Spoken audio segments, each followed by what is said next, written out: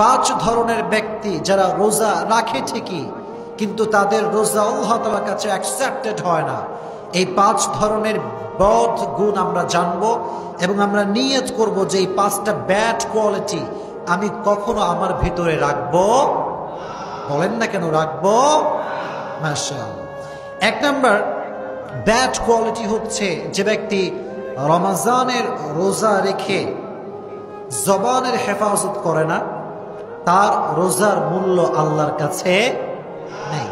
বলেন না কেন আল্লাহর কাছে নেই?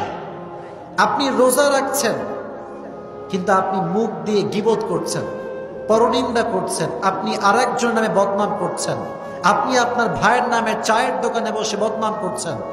প্রিয় ভাইরা মনে রাখবেন, রোজা রেখে যদি আপনি আপনার জবানকে হেফাজত করতে না পারেন তাহলে ওই রোজার এক পয়সা মূল্য আল্লাহর কাছে থাকবে? থাকবে না। এজন্য জবানের হেফাজত করবেন।